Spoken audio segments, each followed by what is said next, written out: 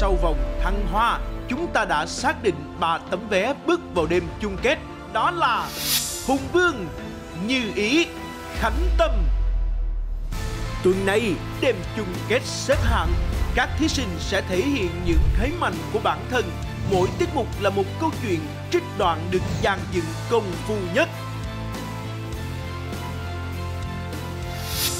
Ai sẽ bước lên ngôi vị quán quân mùa đầu tiên chương trình Tài danh Tân Cũ?